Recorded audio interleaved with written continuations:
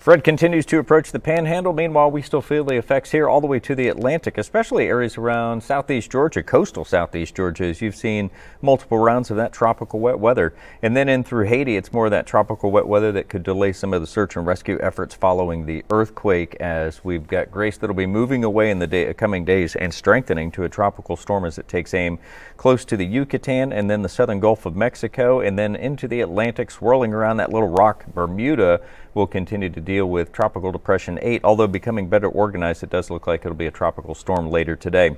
Rounds of wet weather anticipated from the Gulf Coast to the Atlantic as Fred takes aim on the uh, Florida's panhandle. And while doing so, we could still see, on top of what we already saw this weekend, more rain coming in. That means standing water, puddles, and ponds, and for some folks, even the potential for localized flooding.